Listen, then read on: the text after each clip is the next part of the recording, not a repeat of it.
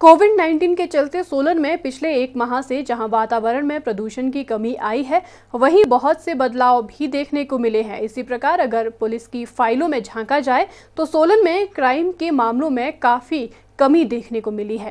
Corona virus के संक्रमण को फैलने से रोकने के लिए लॉकडाउन व कर्फ्यू लगाया गया है, जिसकी वजह से लोग अपने घरों में ही कैद है, लेकिन इसका एक सुखद पहलू भी सामने आया है। इन दिनों आपराधिक गतिविधियों में काफ़ी रोक लगी है। सोलन पुलिस ने वाहन दुर्घटना का केवल एक ही मामला दर्ज किया है। नशीले पदार्थों की तस्करी के मामले में भी काफ़ी हद तक कमी आई है। लड़ाई झगड़े, ज़मीन जायदाद व मारपीट जैसे मामले पुलिस की फाइलों तक नहीं पहुँचे हैं, जो कि सुखद है। लेकिन कोरोना संक्रमण को रोकने के लिए लोगों को घरों में ही रहने की अपील करते करते थक चुकी पुलिस के पास जब कोई चारा नहीं बचा तो महामारी रोकथाम अधिनियम के अंतर्गत बिना काम के सड़कों पर घूमने वालों के विरुद्ध मामले दर्ज किए गए हैं, जिनकी संख्या एक माह में छियासी के करीब पहुँच चुकी है। सोलन के अतिरिक्त पुलिस अधीक्षक डॉक्टर शिव कुमार शर्मा ने कहा कि पुलिस ने कोरोना महामारी के दौरान भी नशे तस्करों के खिलाफ मुहिम जारी रखी है। ऐसे लोगों के विरुद्ध खुफिया तंत्र पूरी चौकसी के साथ तस्करी करने वालों को दबोचने में जुटा है। उन्होंने कहा कि पुलिस ने मादक पदार्थ अधिनियम के तहत अभी तक के लॉकडाउन के दौरान 10 मामले दर्ज किए हैं। शराब की तस्करी करते हुए 20 मामले आबकारी अधिनियम के अंतर्गत दर्ज किए गए हैं।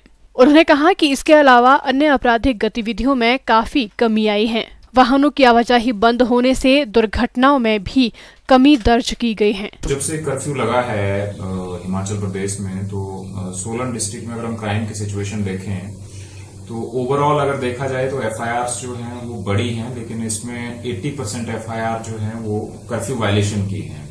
और बाकी क्राइम जो है वो काफ़ी कम हुआ है।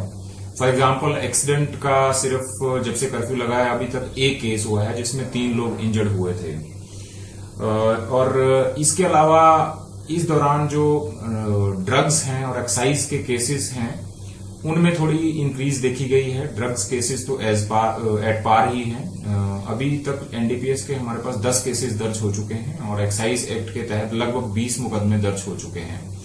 और जो कर्फ्यू वायलेशन है कर्फ्यू वायलेशन के हमारे पास 86 केसेस अभी तक दर्ज हो चुके हैं।